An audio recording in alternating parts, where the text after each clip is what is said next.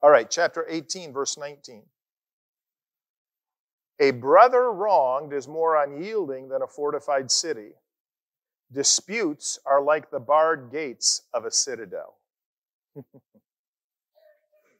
so, a brother, a brother is somebody that you have this, this uh, they're, they're a close, close friend, a brother is, okay?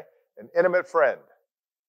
And what he's saying here is that there can be times when we have wronged a dear friend and we have hurt them so deeply that they shut themselves up like a fortified city.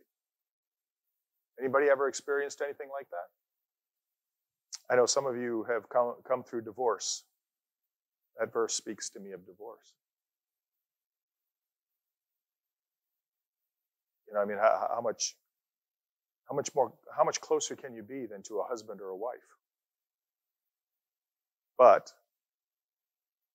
when somebody is wronged, when somebody is wronged, I don't know. I don't know where that line is. Never been there. Don't want to ever be there. But, but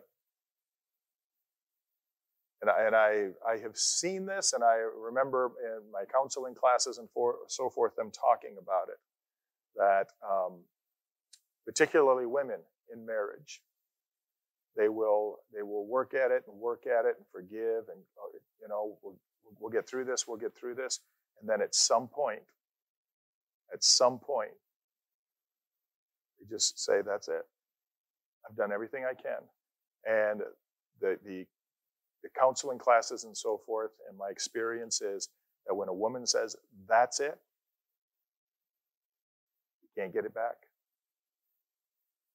can't get it back They've reached their limit, and they have uh, they have become like a fortified city.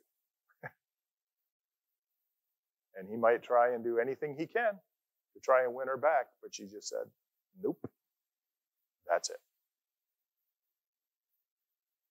And, and that can happen in our relationship. So a brother wronged is more unyielding than a fortified city. Disputes are like the barred gates of a citadel. What's a barred gate of a citadel? What's a citadel? other than a military school you know about. Fortified city, that's right. So, what are the barred gates of a, of a citadel? Okay, yeah, bar, barred gates are the gates are closed, and the wood has come down, and that's right. That's right. You can hit it with a battering ram, and it's going to withstand it for a while, right?